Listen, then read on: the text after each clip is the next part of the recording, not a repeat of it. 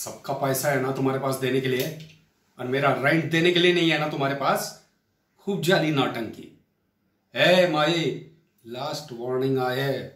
अगर बहत्तर घंटे में मेरा पैसा मेरे को नहीं मिला ना तो मैं भूल जाऊँगा कि तो विजय भाई को एक बार हार्ट अटैक हो चुका है। समझी?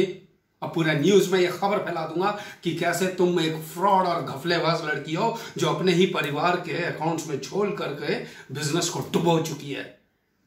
और एक साल से मेरी दुकान हत्या कर बैठी है। ये सुनकर तो विजय भाव निकल ही जाएँगे ना अपने मरे हुए बेटे के पास।